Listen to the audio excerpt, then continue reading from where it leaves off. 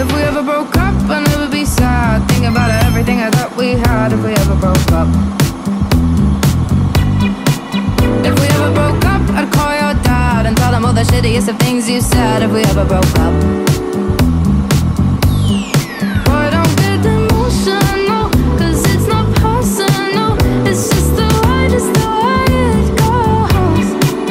If we ever broke up, I'd never be sad. Think about everything I thought we had. If we ever broke up.